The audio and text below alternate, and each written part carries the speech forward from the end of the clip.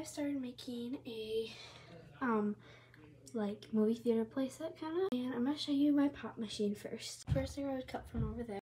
I'm gonna put it right here and choose my kind. I'm gonna do Mountain Dew. Alright, then I'm just gonna push this down on the top. And boom. Oh my gosh, you're in some cups. Okay, this is how it works. So this is just glue top, top of the glue. And then this is what the inside looks like. You can put one of these things in here.